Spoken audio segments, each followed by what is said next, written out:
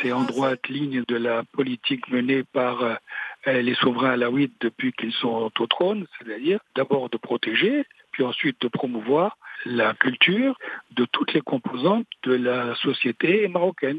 Depuis son accession au trône, Sa Majesté a multiplié les actions de préservation du patrimoine juif marocain, aussi bien en initiant la réhabilitation de tous les cimetières juifs du Maroc.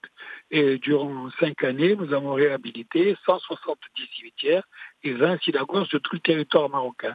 C'est une œuvre absolument unique qui est emblématique, qui est reconnue dans tous les pays du monde comme étant une chose absolument exceptionnelle qui marque euh, de son empreinte la civilisation marocaine et l'exception marocaine.